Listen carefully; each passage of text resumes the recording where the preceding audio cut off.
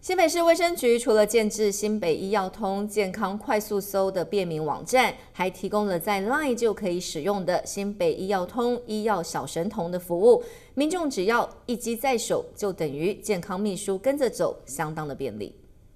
卫生局的医药小神童要如何带着走？以癌症筛检为例，只要在 LINE 开启医药小神童，依序回答问题，就能导向适合自己的各项服务，获得全方位的资讯。回答完之后呢，小神童就同整以上的答案，去显示出使用者符合的检查补助。那以我爸爸为例的话，他就符合了大肠癌跟口腔癌。那再以以大肠癌来讲的话，点下去，他就需要我们提供一个位置的资讯。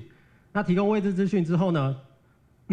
它就会显示出离这个位置资讯最近的周遭十家有提供大肠癌检查服务的医疗院所。医药小神童 Live 服务随身带着走，透过 Q&A 对答，透过 AI 整合了全国的医疗资讯，提供更完整而便民的服务。因为我们有 Live，我们有 Internet，但是我们却没有像小神童这样一个互动的 Live 的软体，跟民众有这些互动 Q&A 的对答。所以我觉得新北市在这个地方的用心跟努力，以及创新的运用，特别利用这个啊国发会要求各中央、地方各部门的 open data 来做资讯的整合，我感觉非常非常的佩服。想获得方便及时的健康服务，只要进入新北市卫生局网站，点选新北医药通网页上的医药小神童连结，以手机扫描 QR code，健康小秘书就可以带在身边了。